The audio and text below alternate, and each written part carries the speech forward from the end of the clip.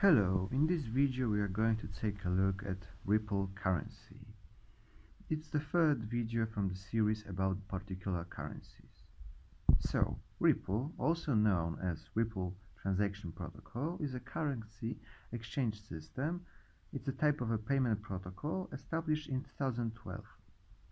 Its decentralized digital asset is known as XRP. Its goal is to enable secure global financial transactions that can be any size like a peer-to-peer server architecture. It's important to know that the network can work without the Ripple company.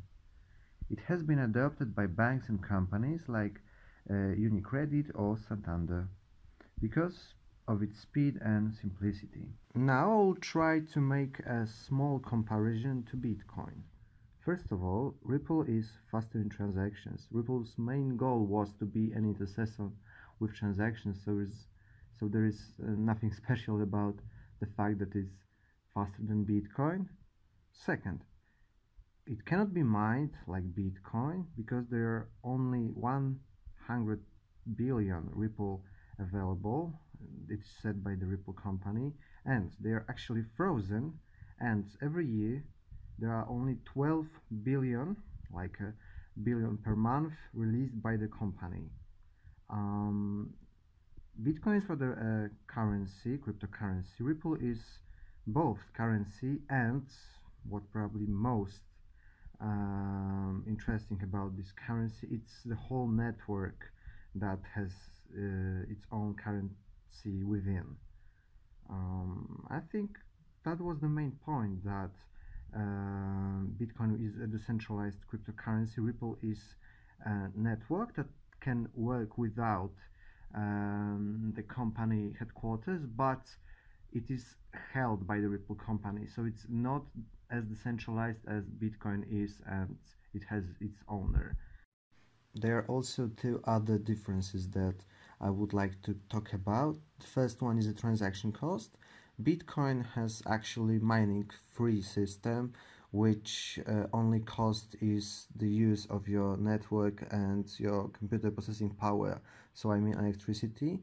And in Ripple's uh, network you have to pay to the security costs of a transaction and the security of whole system to ensure that your transaction will be secure and will be um, well. So um, the security cost is very low but it does matter in um, theoretical uh, purposes. Uh, the other difference is that in bitcoin uh, blockchain you can use only bitcoin currency and in ripple network the currency doesn't matter. Of course it's uh, all about xrp to use but the currency can be universal. Um, Ripple's network is made to uh, deliver to us new um, types of technology. So uh, we have uh, um, possibility to use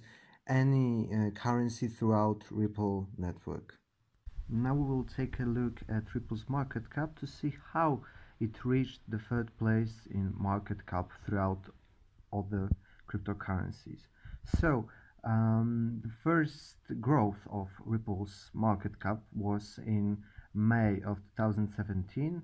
Mostly all of the cryptocurrencies were uh, rising this time, but uh, that was the time where Ripple was really, really strong.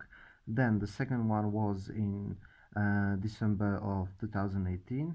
Now we are we are um, seeing that Ripple price is slightly falling down. So it's a good price to invest your money in it. It's about um, 44 cents per each Ripple so you can buy it quite cheap. And I think that Ripple from my perspective um, it has a very very big potential to develop because it is a whole payment protocol whole transaction system and um, it's not left to itself but it has uh, a team of professionals to handle it while talking about professionals who run Ripple um, there is one conclusion that I think in the future uh, we may not see this now, but in the future, it's my private opinion. Ripple is going to beat Bitcoin. Now it's its great rival, but in the future, due to the fact it's not just a currency, it's a whole network with professionals who handle it. It has such a big um, perspective to grow.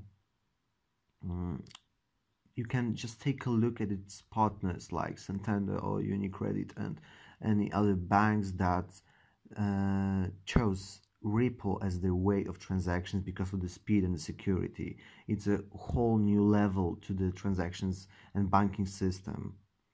Mm, I think that said the most vital info about Ripple. So it will be it for this video and see you guys in the next videos. Bye.